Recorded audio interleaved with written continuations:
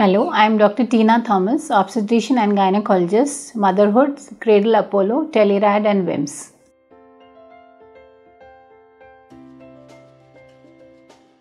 Asymmetrical breast is one of the um, main concerns in case of adolescent girls and may continue in adults also, female girls. Now, uh, the thing is, asymmetrical breast as such is not an indication of any major disease or any major problems.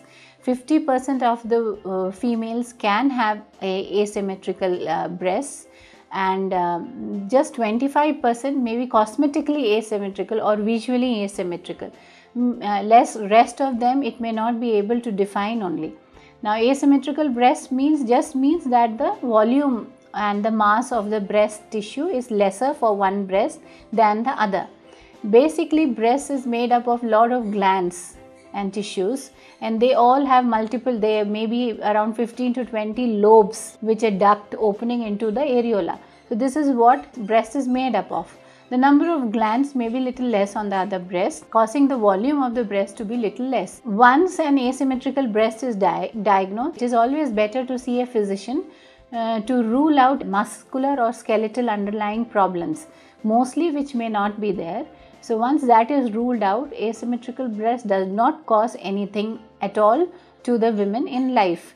The only problem, complication of asymmetrical breast at times is that the girls at adolescent age usually are very much conscious about it and at times it may lead to psychological concerns. So basically psychological concern adding up over years may be a problem in future but as such otherwise a proper counseling and explaining would uh, save that. Other methods of treatment can be using a padded bra for the smaller one or very very rarely in case the difference is too thin the bulking surgeries can be done to bring up the size of that particular breast. So basically uh, need proper counseling is all that is required in such cases. Thank you